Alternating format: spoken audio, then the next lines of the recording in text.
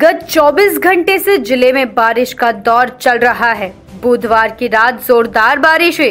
गुरुवार 23 जुलाई को भी ज़िले में बारिश होती रही। अधिक बारिश पवनी तहसील में बयालीस दशमलव छह मिलीमीटर दर्ज की गई।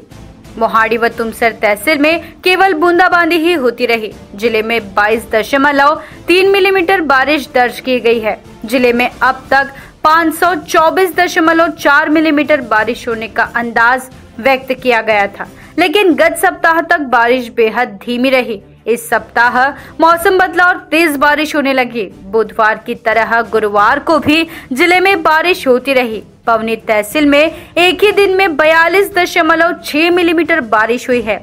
वही भंडारा तहसील में चौतीस मिलीमीटर, साकोली में सात मिलीमीटर लाखानदुर में बीस दशमलव पाँच मिलीमीटर, लाखनी में ग्यारह दशमलव आठ मिलीमीटर बारिश हुई है।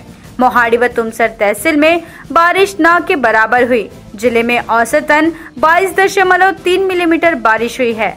B S crime India news के साथ जुड़े रहने के लिए YouTube website Twitter Facebook Instagram पर वीडियो देख लाइक कमेंट और शेयर करें। साथ ही यूट्यूब चैनल को सब्सक्राइब कर बेल आइकन दबाना ना भूले और गूगल प्ले स्टोर से B S crime India news dot com के एप्लीकेशन को डाउनलोड कर रोज़ाना ताज़ा खबरों के लिए हमारे साथ बने रहे।